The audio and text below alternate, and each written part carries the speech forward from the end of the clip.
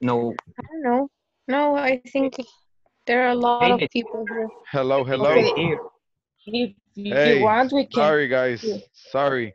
I don't know what's Ah, going on with my, okay. I don't know what's going on with my internet. It's coming in and out. Sometimes I get a good reception, sometimes it goes, it's weird. All right, and what are you guys doing right now? What are you practicing on? I'm working on the platform. Okay, what, what section are you on? The factual information questions. Oh, okay. Está difícil el, Let's el- look. Is the reading preparación de cosas y está bien difícil. What section, what section are you on? Ay, What section are you on? Section A, negative factual information preparación. question. Section A, about the reading section. Section one, reading, types of questions. A, negative factual information Ajá. questions and factual information questions. Oh, okay, okay, okay, I see it. Pues va el Section A, negative factual information. All right, let's check it out. I'm going to share my screen. No me acuerdo quién era Josué. Ah, I'm going to share my screen with you guys. All right, here we go. little bit ahead of everybody else, Let's listen. was already on the reading practice. I'm sorry? I think I was ahead of everybody else or just a little bit ahead because I was already in the reading practice. Oh, okay, that, Yeah. that's, that's perfectly fine. Um, if you can advance, you can do it. There are, there is no limit to your progress on the platform. As a matter of fact, um, the more that you advance, the better. Honestly. I was actually, I was actually gonna try to speak with somebody so I can probably, uh, take a, like a leveling test. Because I think, uh, uh, well, it's not to be conceited or anything, but I think my level of English is a little bit higher than this. Okay, that sounds good. That sounds like a good plan. Uh, maybe you can write me and maybe I can help you out with that. Okay, all right, I'll go ahead and do that. Um, is it okay if I, uh, skip this part over here? Because I wasn't expecting visit today, but I have, um, visitors. Okay, that's perfectly fine. That's no, that's not an issue. Okay, I'll speak to you later then. Okay, excellent. Thank you, Yvette. Good night, guys. Good night.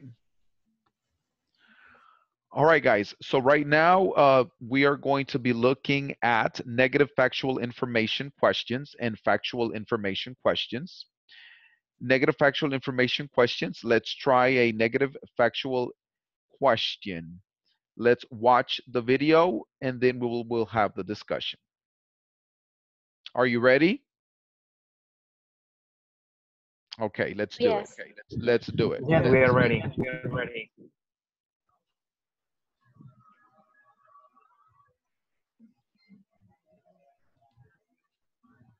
I'm like praying to God the internet is good. Factual information questions. If you think you need to take notes, feel free to do so. Or you may play this In this case, guys, I would like for everybody to take notes. Note taking is a very important part of the TOEFL test, especially in the reading section. So uh, please take notes. Get out a notebook, piece of paper, whatever, but please take notes.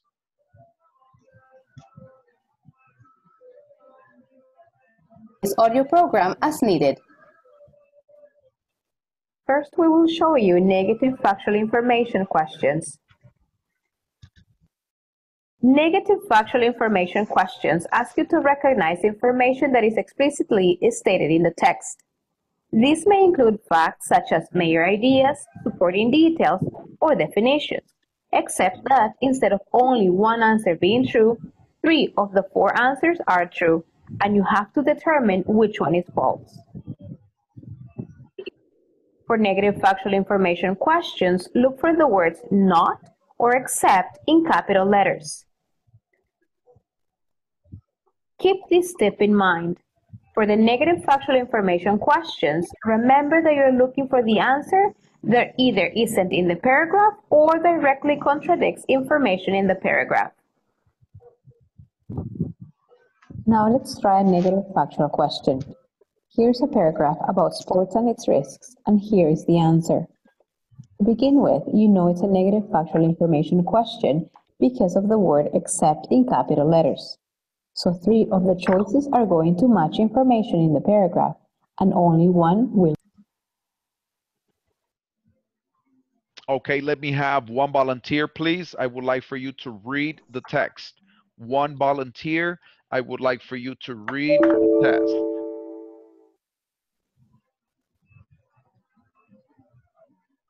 Teacher, me? Yes, okay, go ahead. Read the text, please. Okay, almost all sports and outdoors leisure activities carry real risk.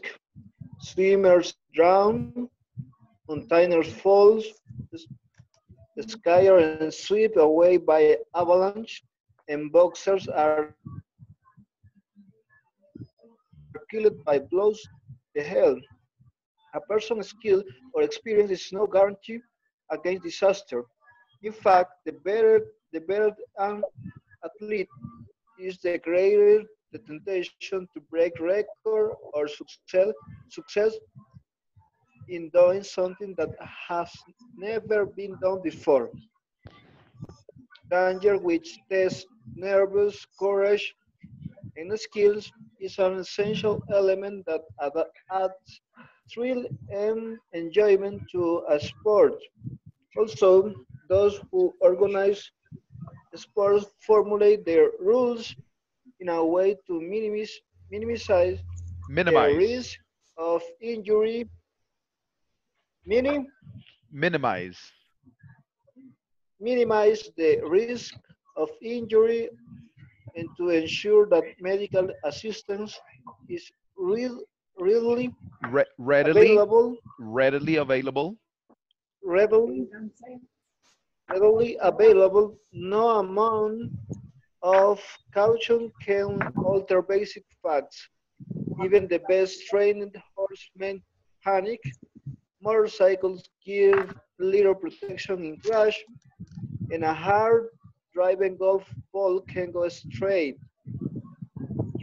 According to the passage, all the following are risks in a sport except All right.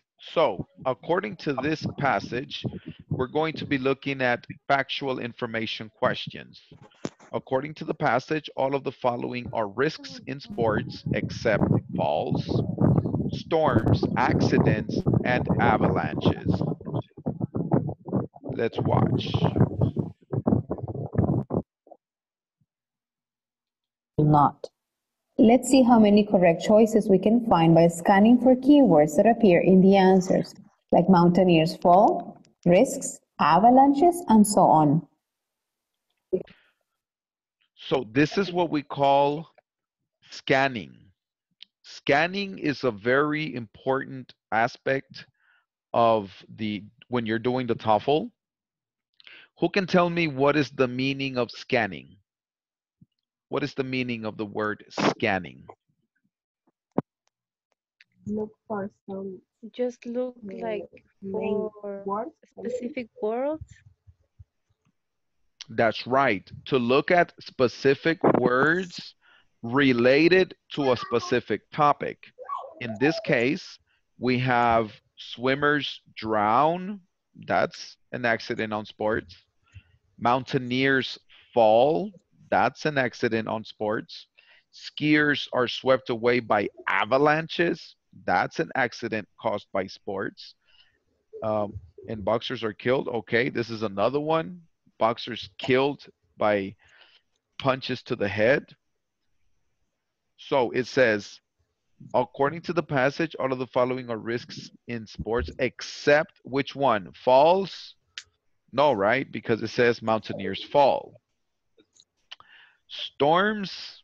Mm, well, avalanches are created by storms, but they don't fall by storms. So could be storms. Accidents, yes, right? Skiers are swept away by avalanches. That's an accident. Swimmers drown. That's an accident. And avalanches clearly is there. So what do you think is the most relevant answer uh, according to the text? Who can tell me what is the most relevant answer? Falls, storms, accidents, or avalanches? Storms. Storms, very good. Storms. We may also need to look for synonyms of these words. So if we scan the paragraph for some text about false, that corresponds to choice A. We find this and it's a match. For choice C, we found that information here, where it talks about risks. Choice D is here, where it talks about skiers are swept away by avalanches. But there's nothing in the paragraph that talks about storms. So choice B looks like it might be the answer. Therefore, choice B is our answer. Correct. Excellent. So basically, guys, what we need to understand is that whenever you're going to be doing the reading section, you need to skim and scam. Now, Mr. Santos, how am I going to improve my skimming and scanning? All right, so in order for you to do that, my recommendation would be, eh, according to what we see on the video, is whenever you are doing literature, it, it doesn't matter if it's in Spanish or in English, as long as you are practicing this ability. Practice the ability to skim and scan. All right. And the only way to do that is to sit down, get a magazine, uh, a newspaper, a book, whatever you're whatever you're studying, and practice reading through skimming and scanning. That is an essential skill that you have to develop. Searching for specific information, skimming and scanning. That means going through it quickly, not reading in detail. But this is something that you must practice. Any questions at this moment? Questions at this No. moment? No. All right, let's watch the next video.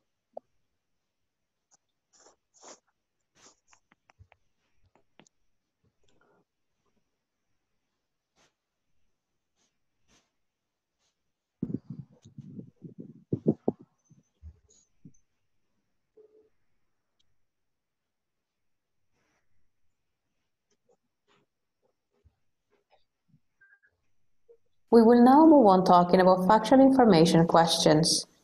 They are similar to the previous type because they ask you to recognize information that is explicitly stated in the text. These may include facts such as mayor idea, This is a very important um, section. I would like for everybody, please pay attention to this section. Right here where it says major ideas, supporting details, definitions. What does that mean? That means that whenever you are doing the reading section, you're going to have different types of questions. You're going to have questions that are going to ask you for the main idea in the paragraph or the main idea in the article. Who can tell me where you normally find the main idea in a reading, in a paragraph, in an article, in a journal? Where? Where in that article do you normally find the main idea? Who can tell me? In the introduction. Very good. In the introduction, usually the main idea is presented within the first three sentences in the article or in the paragraph. Very good. Um, supporting details, in what section of the text do you usually see the supporting details?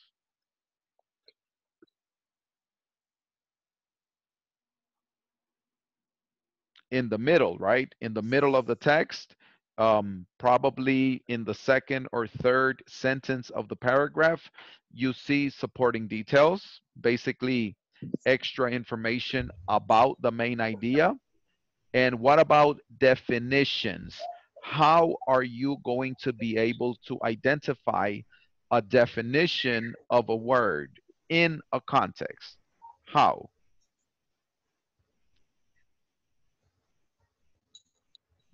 Any, any ideas? If I mm. say to you, what is the meaning of the word clever in this context? How are you going to know?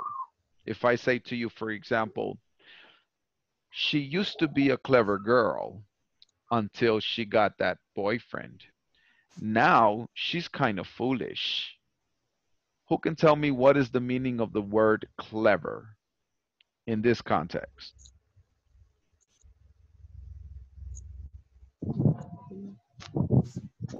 Freddie? Intelligent? Very good. How do you know, Freddie? Uh, well, because, for example, in the last of the sentence is the opposite. Correct. Foolish.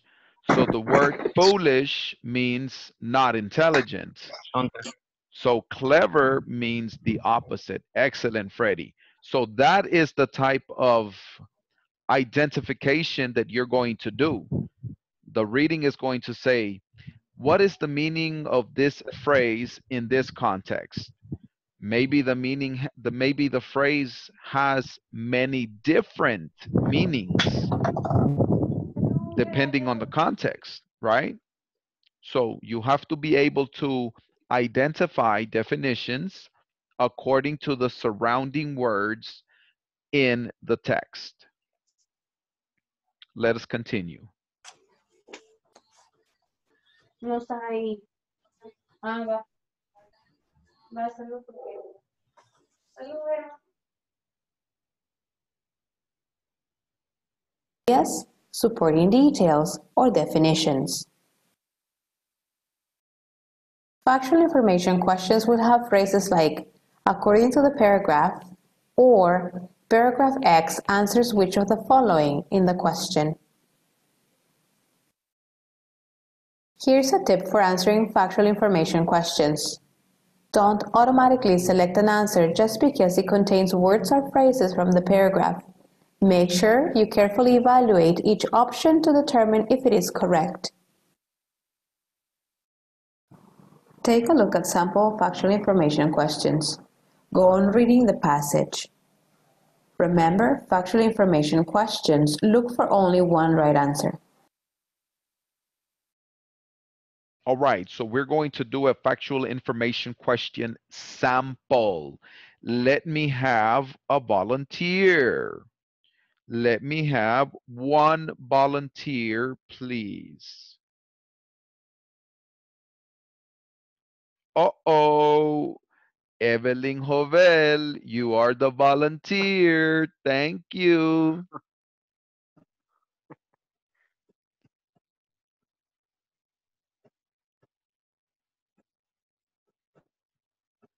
Hi, Evelyn Jovel. I'm sorry, the paragraph eh, that say that Yes, in the 11th century. Okay, in the 11th century, people noticed that if a small hole were, I'm sorry, but I can't see because I don't have my glasses. Okay, and okay. The, very small. Can you uh, eh, really, I, I can, assume? I really please? can, I really can't, but uh, it's okay. Maybe next time, let, let's have somebody else. Select somebody, Evelyn. Okay. Um, uh, let me see. Freddie. Freddie, you are next. okay.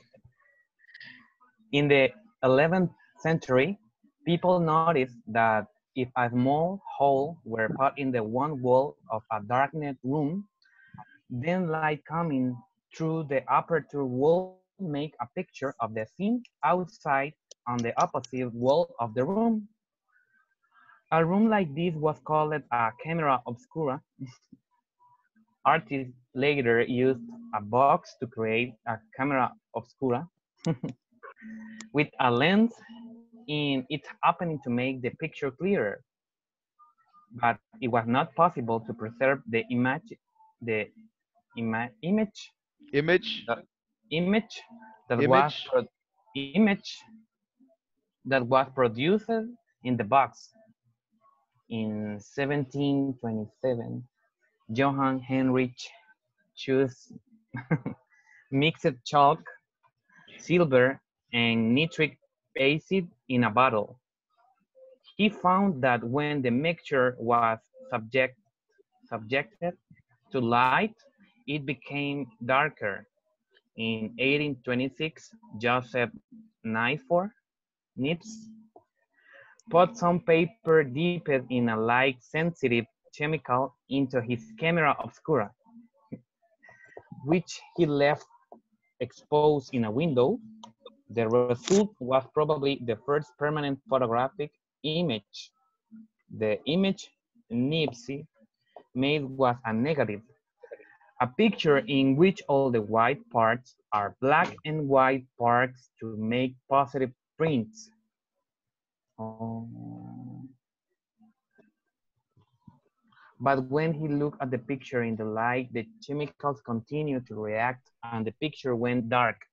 In 1836, 37, he found a way to fix the image. This image, the, these images are known as daguerreotypes.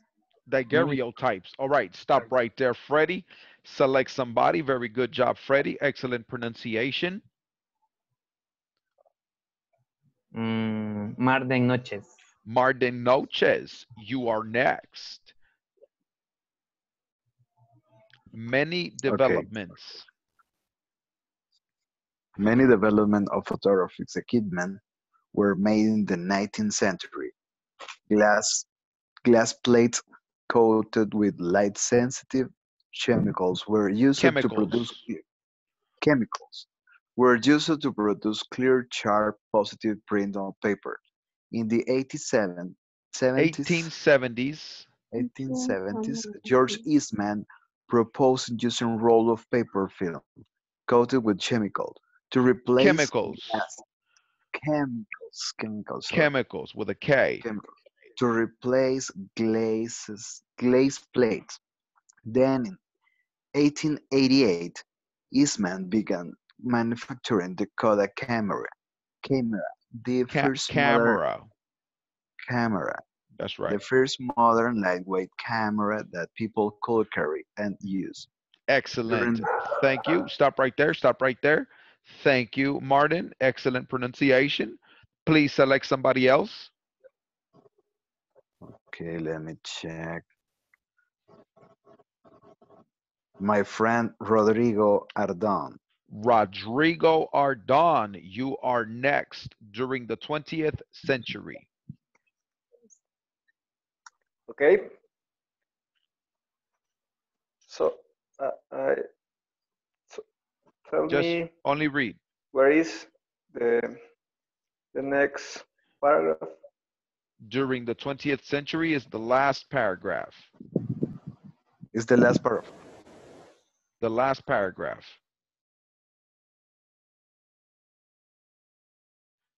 All right, we're going to come back to Rodrigo. Uh, let's have, mm, let me see, let me have,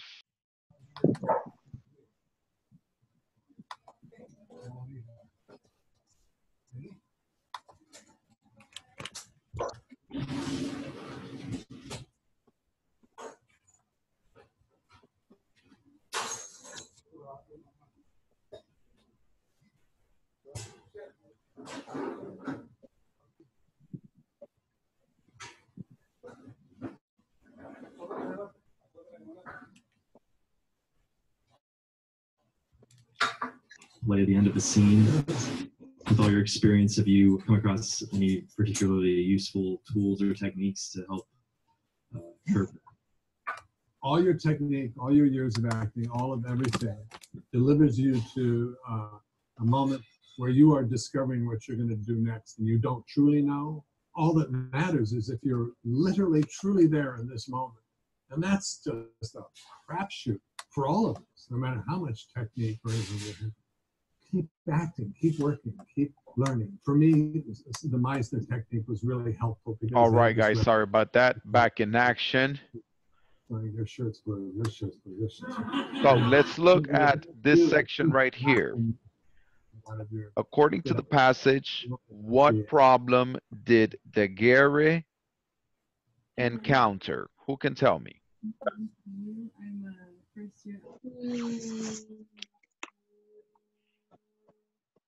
His pictures were all negative images. He could not oh. find a way to make positive images. His positive images would darken. He could not reverse the fixed image.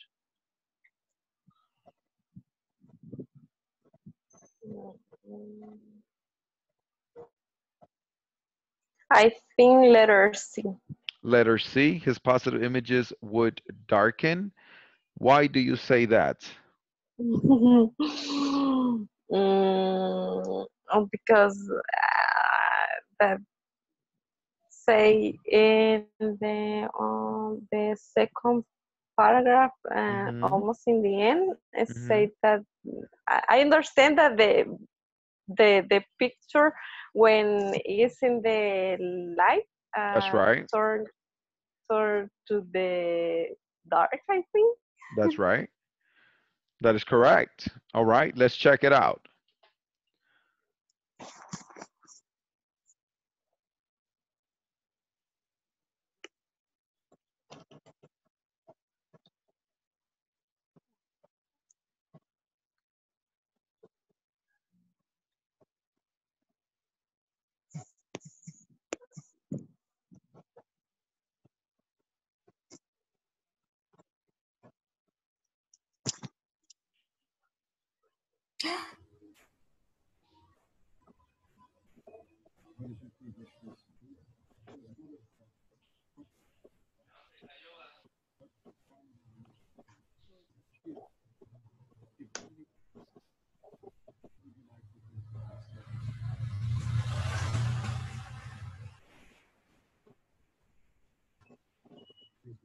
Hi.